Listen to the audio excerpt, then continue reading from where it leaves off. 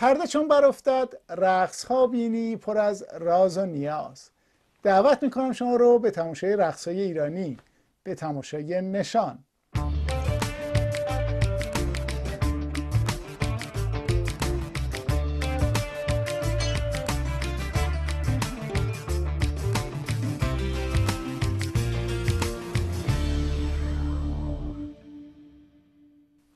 سلام. سال نو مبارک. حسن سرچو هستم و خوش اومدیم به برنامه این هفته آپارات. ایران سرزمین تنوع رقص هایی هست که با فشار سنت و مذهب یا از بین رفته یا محجور مونده و اینکه پنهان شدن در گوشه و کنار این سرزمین پهناور. شاید تنوع رقص هایی که در ایران وجود داره رو کمتر بشه در جای دیگه پیدا کرد. اما به قدر این آین ها پراکنده هستن که دیگه کمتر به چشم میان و در این حالم اهمیتشون داره رنگ میبازه. نشان فیلمی درباره رقص های آینی یا فولکلور در ایران روایتی هست از دسته ای از این رقص ها این فیلم ساختگی الهام اسدیه. خانم اسدی فیلمساز عکاس و پژوهشگر متولد سال 58 و از شاگردان عباس کیارستمی در کارگاه های فیلمسازیش بوده. از سال 86 فیلمسازی رو شروع کرده و با فیلمی به نام پوت حضور موفقی در جشنواره‌های بین‌المللی فیلم مستند داشته. از او پیش از این فیلم سبز است رنگ و همینطور پوت رو در همین برنامه آپارات دیده بودیم. خانم اسدی همچنین فیلم های دیگه ای مثل نان و نور و فرش رو هم در کارنامهش داره. برای صحبت در مورد فیلم نشان که ساخته شده پنج سال به طول انجام میده از سه میهمان دعوت کردیم که همراه ما باشن. هلیا بنده رقصنده و پژوهشگر رقص از هلند. دیدار رزاقی بازیگر و صاحب نظر در هنرهای نمایشی از لندن. و همینطور فرید اسماعیل پور مستندساز و پژوهشگر سینما از پاریس میهمان این هفته ما هستن سال نو بر شما مبارک و خوش اومدید به برنامه ما. خب دعوتتون می‌کنم به دیدن نشان به اتفاق بینندگان برنامه ما. ببینیدش.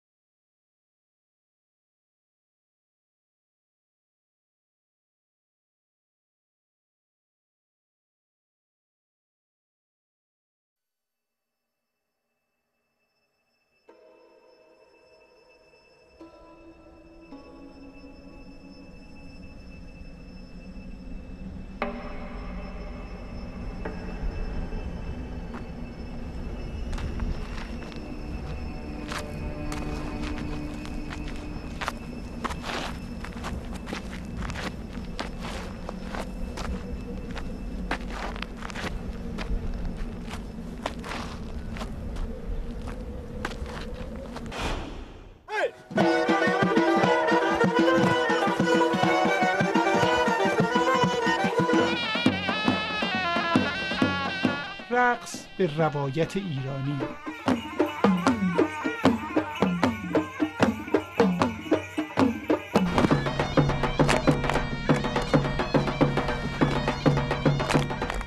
نشان این هفته در آپارات.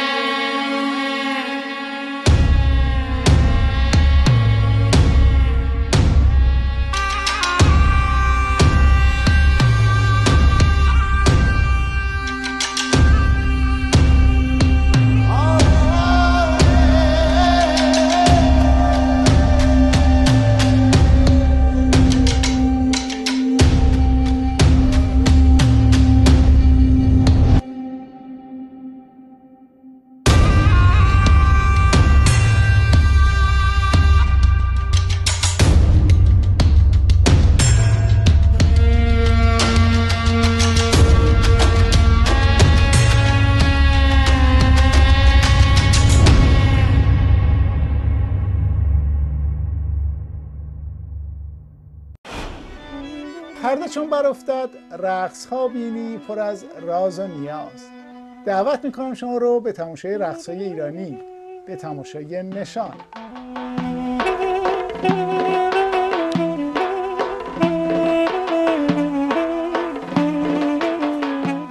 رقص روی بدن جسم و روان تاثیر بسیار زیادی داره. اول از همه به دلیل اینکه ما وقتی که حرکت می‌کنیم و میرقصیم جریان خون در بدن ما شدت پیدا می‌کنه. رقص بی تاثیر از جغرافیای محل نیست. محل هایی که با کمبود آب مواجه هستند محل هایی که از آب سیرابند محل های کوهستانی و اینها حتی در نوع رقص ساکنین اون رقص های فولکلوریک بی تاثیر نیست. این عدم مداخله گری اثر رو تبدیل می‌کنه گاهی به یک تابلوی بصری فوقالعاده زیبا.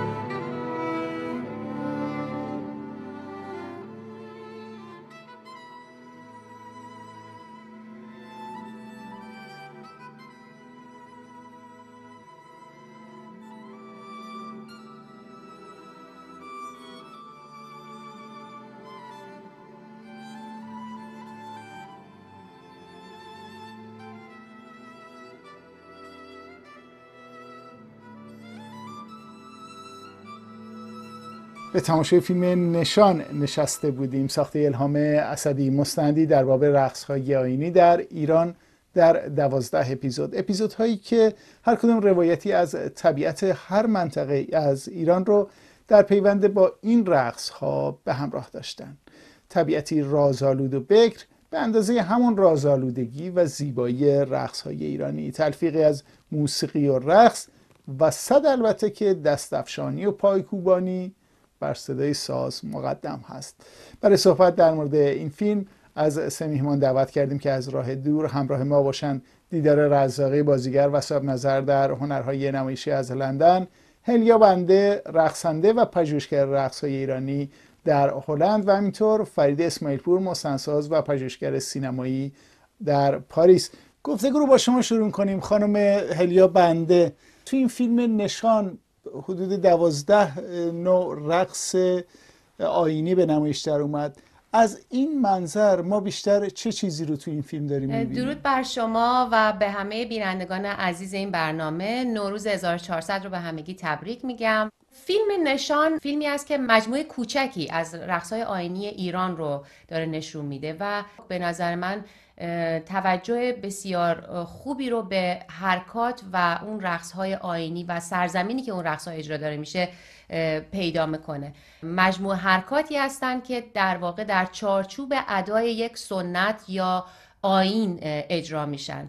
و این رقص ها مستقیما مربوط هستند به دنیا و عقاید اون منطقه و اون قوم. به شکل گروهی در محورهای دایرهوار انجام می‌گیرن و در این فیلم ما این رو مشاهده می‌کنیم. گفته میشه که رقص یک جور نمایش نمادگرا هست و حرکاتی که انجام میشه با دست پایینا هر کدومش معنامنده در رقص ایرانی. و می‌خواد یک معنایی رو به مخاطبش منتقل کنه. در این حالم گفته میشه که بعضی از این رقص ها در واقع مرتبط با اتفاقات اطراف زندگی آدم ها مثل مثلا کشاورزی و چیزهای دیگه. اینا هر کدومش و همشون به نوعی در واقع رقص های مردونه ای هست. زنها تو این رقص های آینه کجا هستن؟ تو این فیلم ما نمیبینیمشون. سوال بسیار خوبیه. در این فیلم ما فقط رقص های آقایون رو می‌بینیم و در واقع رقص های بانوان رو نمی‌بینیم. یعنی در نظر اول به نظر میاد که اصلا ایران رقصی برای بانوان نداره. در حالی که اینطور نیست. در بخش رقص های آینی هم در سرزمین ایران ما رقص های بانوان داریم و آقایون. در یک مناطقی رقص آقایون و خانم ها دقیقا یکیه و در یک مناطقی خب رقص های بانوان متفاوته از آقایون. مثلا در منطقه غرب ایران مثل کردستان و لورستان بانوان و آقایون کنار هم دست در دست هم میرقصن و رقصهاشون هم باقی مونده و هنوز که هنوزه دارن اجرا می‌کنن. اما در مناطقی مثل مثلا جنوب ایران مثل هرمزگان یا سیستان و بلوچستان ما از رقصهای آینی بانوان خیلی کمتر می‌دونیم و خیلی کمتر باش آشنایی داریم. اگر که نگاه کنیم به رقص مازندران مثل چک سما در اونجا رقص های بانوان هست و آقایون که چک سما بانوان انجام میدن خانوما هم انجام میدن. یا مثلا رقص استکان یا مجسمه در منطقه مازندران. همچین رقصی رو هم ما در مثلا کرمان داریم که این بانوان این رقص ها رو انجام میدن ولی خب ما در این فیلم نمی‌بینیم. کلا به دلیل فرهنگی که در ایران هست و اینکه توجهی که ما نکردیم و نمی کنیم به رقص بانوان این رقص ها کمتر معرفی شده. هستند اما ما باشون کمتر آشنایی داریم.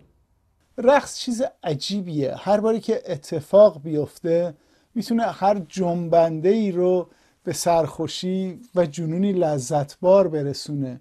چه رازی هست در این رقص که انسانها از دیرباز دنبالش بودن؟ رقص روی بدن جسم و روان تاثیر بسیار زیادی داره. اول از همه به دلیل اینکه ما وقتی که حرکت می‌کنیم و میرقصیم جریان خون در بدن ما شدت پیدا می‌کنه و اکسیژن بیشتری به بدن ما می‌رسه. در کنار این دو تا از هورمون‌های بسیار مهم شادی و لذت اندروفین و دوپامین در بدن ما ترشح میشه و باعث کاهش هورمون استرس میشه در بدن ما. خب همه اینا نشون دهنده اینه که ما کلا حس بهتر و لذت بخشی رو می‌کنیم.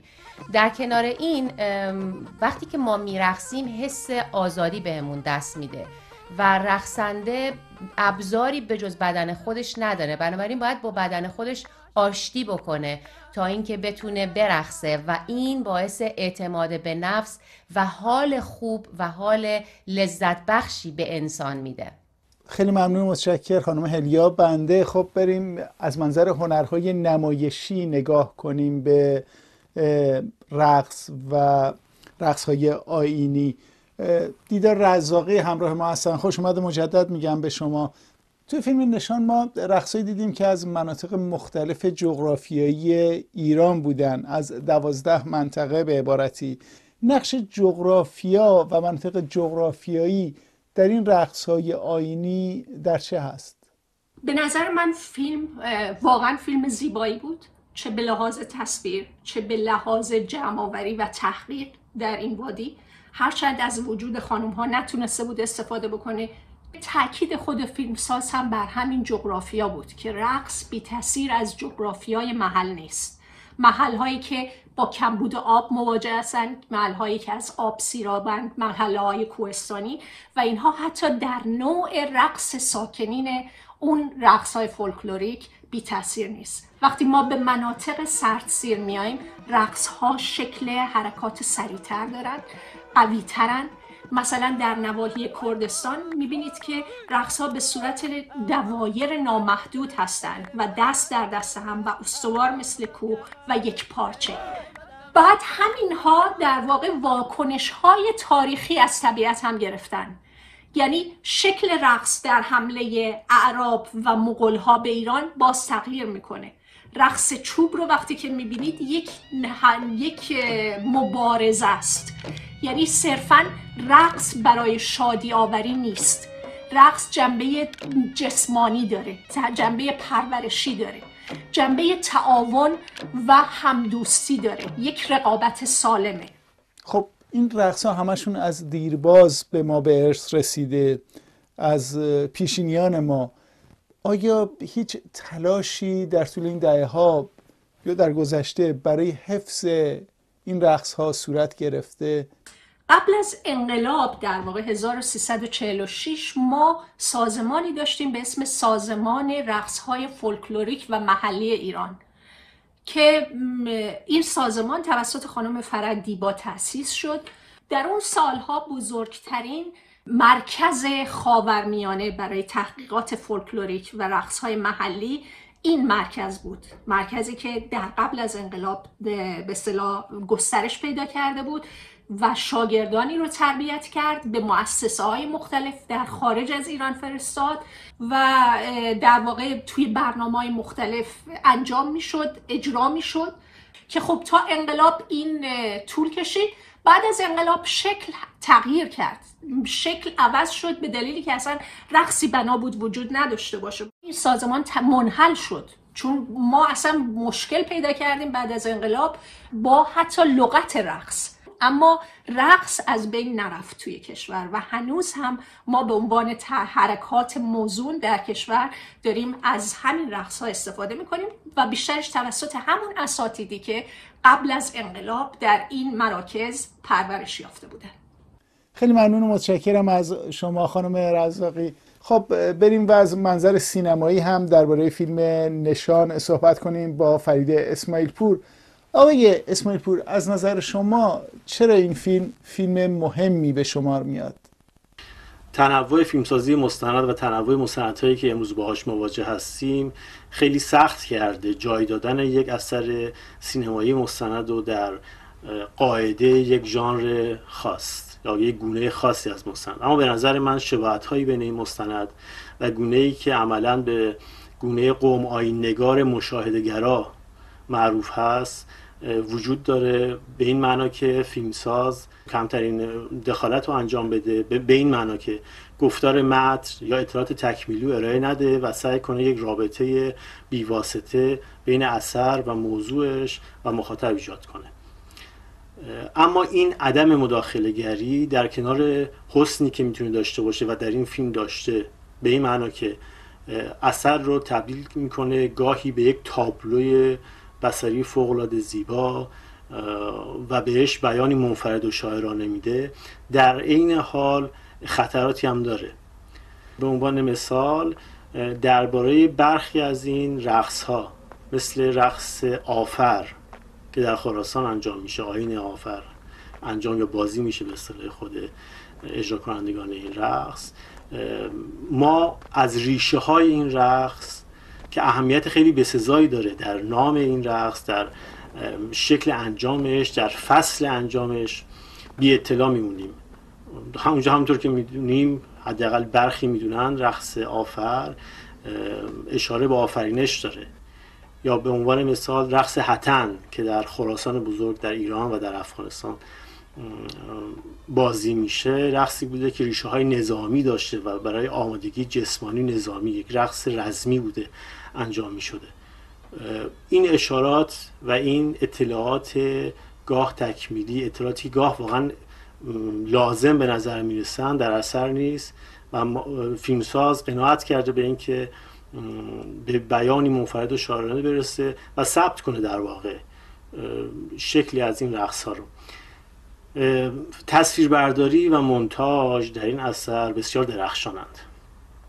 و از نکات خیلی خیلی مثبت فیلم هستند با این حال پیشنهادهای جدید و حتی گاه شاید درستی دست کم درباره اون رقصایی که من در خراسان می‌شناسم درباره میزانسنی که به اون فضا داده می شده و استفاده از نماها نماهای لازم یا نماهای درستتر شاید در فیلم نیست. می‌دونیم وقتی که ما داریم صحنه رقص و کارگردانی می‌کنیم خیلی اهمیت داره اون میزانسنی که داریم میدیم به جایگاه و چیدمان رقصندگان و اجرا کنندگان اون نمایش مربوط باشه و بیاد. و به نظر من در بعضی از اجراها به طور خیلی کم دقت این میزانسن داده شده.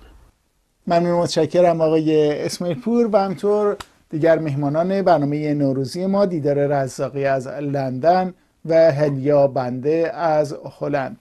فرصت ما در همینجا به پایان می‌رسه. از طریق راه ارتباطی که داره زیر نویس میشه اینجا با ما در تماس باشید. سال خوبی رو براتون آرزو دارم. تا دیدار بعد مراقب سلامت خودتون و دیگران باشید بدرود.